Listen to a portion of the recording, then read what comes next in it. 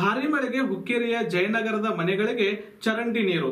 ನಿರ್ಲಕ್ಷ್ಯಕ್ಕೆ ಪುರಸಭಾ ಅಧಿಕಾರಿ ಮತ್ತು ಸಿಬ್ಬಂದಿಗಳಿಗೆ ನಿವಾಸಿಗಳಿಂದ ಹಿಡಿಶಾಪ. ಬೆಳಗಾವಿ ಜಿಲ್ಲೆ ಹುಕ್ಕೇರಿ ನಗರದಲ್ಲಿ ಭಾರಿ ಮಳೆಯಿಂದಾಗಿ ಹುಕ್ಕೇರಿ ನಗರದಲ್ಲಿರುವ ಜಯನಗರದಲ್ಲಿ ಎಲ್ಲ ಒಳಚರಂಡಿಗಳ ಕೊಳಚೆ ನೀರು ತುಂಬಿ ಗಬ್ಬೆದ್ದು ನಾರುತ್ತಿದೆ. ಭಾಗಶಃ ಇಲ್ಲಿಯ ಎಲ್ಲ ಚರಂಡಿಗಳು ತುಂಬಿ ಮನೆಯೊಳಗೆ ನೀರು ನುಗ್ಗುತ್ತಿದೆ. ಜಯನಗರದಲ್ಲಿ ಈ ಸಮಸ್ಯೆ ಕಳೆದ ಎರಡು ಮೂರು ವರ್ಷಗಳಿಂದ ಇದ್ದರೂ ಸಹಿತ ಪುರಸಭೆಯ ಅಧಿಕಾರಿಗಳು ಇತ್ತ ಕಡೆ ಗಮನ ಕೊಡುತ್ತಿಲ್ಲ ಎಂದು ಜಯನಗರದ ಸಾರ್ವಜನಿಕರು ತಮ್ಮ ಆಕ್ರೋಶ ವ್ಯಕ್ತಪಡಿಸಿದರು. ಕೊರೋನಾ ಸಾಂಕ್ರಾಮಿಕದ ಜೊತೆಗೆ ಇಲ್ಲಿಯ ಚರಂಡಿ ನೀರು ನಮ್ಮ ಕುಡಿಯುವ ನೀರಿಗೆ ಬೆರೆತು ನಾವು ಬಳಸುವ ನೀರು ವಾಸನೆ ಬರುತ್ತಿದೆ. ಕೊಳಚೆ ನೀರನ್ನೇ ಉಪಯೋಗಿಸುವ ಪರಿಸ್ಥಿತಿ ಬಂದಿದೆ. ಇದರಿಂದಾಗಿ ವೃದ್ಧರು ಮತ್ತು ಚಿಕ್ಕ ಮಕ್ಕಳ ಆರೋಗ್ಯದ ಮೇಲೆ ಪರಿಣಾಮ ಬೀರುತ್ತಿದೆ ಎಂದು ಆಕ್ರೋಶ ವ್ಯಕ್ತಪಡಿಸಿದರು. ಕೊರೋನಾ ನೆಪವಡ್ಡಿ ಪುರಸಭಾ ಅಧಿಕಾರಿಗಳು ಮತ್ತು ಸಿಬ್ಬಂದಿ ಯಾವುದೇ ಕೆಲಸ ಮಾಡುತ್ತಿಲ್ಲ. ಪುರಸಭೆಗೆ ಹೋದ ಸಂದರ್ಭದಲ್ಲಿ ಯಾವುದೇ ಮಾಹಿತಿ ಕೇಳಿದರೂ ಒದಗಿಸುತ್ತಿಲ್ಲ.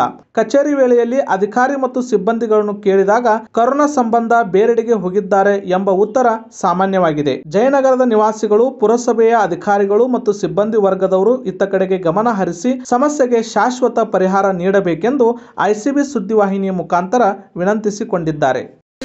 ಮಾತಾಡೋದು ಜಯನಗರದಿಂದ ಭಾಳ ನೀರು ಸಮಸ್ಯೆ ಭಾಳ ಆಗೈತ್ರಿ ಗಟ್ರ ತುಂಬ ಹೇಳಕತ್ತಾವು ಮನ್ಯಾಗ ನೀರು ಅದಕ್ಕೆ ಪರಿಹಾರ ಮಾಡಬೇಕು. ಎರಡು ದಿವಸ ಆತ್ರಿ ಮನ್ಯಾಗ ನೀರು ಎರಡು ಮೂರು ವರ್ಷ ಆತೀಗ ಈಗ ತುಂಬ ಮನ್ಯಾಗ ನೀರು ಹೋಗತೈತಿ ಮನೆ ಪ- ನೀರು ಕುಡಿಯಾಕತ್ತೇವೆ ನಾವು. ಕೊಳಚೆ ನೀರು ಬಳಕೆ ಮಾಡಕತ್ತೇವೆ ಭಾಳ ತ್ರಾಸ ಆಗತ್ತಿ ಅದಕ್ಕೆ ಏನು ಪರಿಹಾರ ಹುಡುಕಬೇಕು. ಈ ಪಂಚಾಯತಿಗೆ ಹೇಳಿಲ್ಲ? ಇನ್ನು ಹೇಳಿಲ್ಲ ನಾವು ಏನು ಹೇಳಿಲ್ಲ. ಏನು ಹಾಳು ಮಾಡಿದ್ರು ಯಾರೋ ಅವರು. ಯಾರು ಸರಿಯಾಗಿ ಉಪಯೋಗ ಮಾಡಂಗಿಲ್ಲ ಬರಂಗಿಲ್ಲ ಯಾರೋ ಅವರು. ಹೇಳಿ ಸಾಕಾಗಿತ್ತು ನಮಗೆ. ಬರ್ತಾರೋ ನಿಮಿಷದ ಮಾಡ್ತಾರೋ ಬರ್ತಾರ ಹೋಗ್ತಾರ ಬರ್ತಾರ ಹೋಗ್ತಾರ ನೋಡಂಗಿಲ್ಲ ಬಿಡಂಗಿಲ್ಲ. ಗಟ್ರ ಒಂದ್ ಕಡೆ ಸ್ವಚ್ಛ ಮಾಡಿಲ್ಲ ನಮ್ಮ ಕಡೆ ಅವ್ರ ಒಟ್ಟ ಏನು. ಕೇಳ್ತಾ? ಅದ ಭಾರಿ ಮಳೆಯಿಂದ ಏನಾಗ್ತದ? ಇಲ್ಲಿ ಕಡೆಗೆ ಬಂದು ಇಲ್ಲಿ ಬಂದು ಕ- ಲಾಸ್ಟ್ ಮನೆ ಐತಿ. ಈ ಮನೆ ಮುಂದೆ ನಿಂತ ನೀರೆಲ್ಲ ಬ್ಲಾಕ್ ಆಗ್ಬಿಡ್ತದ. ಗಟ್ರ ನೀರೆಲ್ಲ ಕೊಳಚೆ ನೀರೆಲ್ಲ ಏನಾಗ್ತದ? ನಮ್ಮ ಮನೆ ಟ್ಯಾಂಕ್ ಒಳಗೆಲ್ಲ ಹೋಗ್ತದ. ಅದನ್ನ ನಾವು ನೀರು ಕುಡಿಬೇಕು. ಬಳಕೆ ಮಾಡಬೇಕು. ಈ ಪ್ರಾಬ್ಲಮ್ ಅನ್ನ ನಾವು ಹೇಳ್ಕೊಳ್ತಾ ಇದ್ದೀವಿ. ಎರಡು ವರ್ಷ ಆಯ್ತು. ಇದಕ್ಕೇನು ಪಂಚಾಯತ್ ಅವ್ರನ್ನ ಹೇಳ್ಕೊಳ್ತಾ ಇದ್ದೀವಿ. ಬಟ್ ಅವ್ರೇನು ಬರ್ತಾರೋ ಒಂದು ಐದು ನಿಮಿಷ ಅಷ್ಟೇ ಇದು ವರ್ಕ್ ಮಾಡಿ ಹೋಗ್ತಾರೋ, ಇದಕ್ಕೆ ಸರಿಯಾಗಿ ನಮ್ಗೆ ಪರಿಹಾರ ಸಿಗ್ತಾ ಇಲ್ಲ. ಸೊ ಇದಕ್ಕೇನು ಸೊಲ್ಯೂ ಸೊಲ್ಯೂಷನು ನಾವು ಎಷ್ಟೋ ಹೇಳಿದ್ರು ಅವರೇನು ಕೇರ್ ಮಾಡ್ತಾ ಇಲ್ಲ. ಸೊ ಇದಕ್ಕೇನು ಪರಿಹಾರ ಅಂತ ನೀವು ಹೇಳಬೇಕು. ಈ ಕೊಳಚೆ ನೀರನ್ನು ನಾವು ಉಪಯೋಗ ಮಾಡಬೇಕೇನೋ? ಈಗ ಮೊದಲ ಕರೋನಾ ಸ್ಥಿತಿಯಿಂದ ಜನರ ಸ್ಥಿತಿ ಅಂತೂ ಹದಗೆಟ್ಟೈತಿ. ಸೊ ಇಂಥ ನೀರನ್ನು ಬಳಕೆ ಮಾಡೋದ್ರಿಂದ ಮಕ್ಕಳಾಗ್ಬೋದು, ವಯಸ್ಕರಾಗಿರ್ಬೋದು ಅವ್ರ ಪರಿಸ್ಥಿತಿ ಏನಾಗ್ಬೋದು?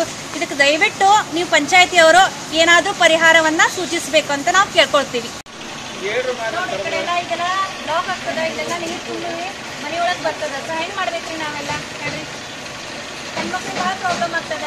ಗಂಡ್ಮಕ್ಳೆಲ್ಲ ಹೋಗಿರ್ತಾರೆ ಹೊರಗಡೆ ಡ್ಯೂಟಿ ಮೇಲೆ ಸೊ ಹೆಣ್ಮಕ್ಳು ಏನು ಮಾಡ್ಬೇಕು ನಾವು? ಚಿಕ್ಕ ಮಕ್ಳು ಇರ್ತಾರ. ನಾವು ಫೋನ್ ಮಾಡಿದಾಗಂತೂ ಅವ್ರು ಏನು ಸರಿಯಾಗಿ ನಮ್ಗೆ ರೆಸ್ಪಾನ್ಸು ಕೊಡೋದಿಲ್ಲ. ಬಟ್ ಮಳೆ ಬಂದಾಗ ನಾವಾಗ ಏನು ಮಾಡ್ಬೇಕು ಹೇಳಿ ಮನೆಯೊಳಗೆಲ್ಲ ನೀರು ಹೋಗ್ತದ.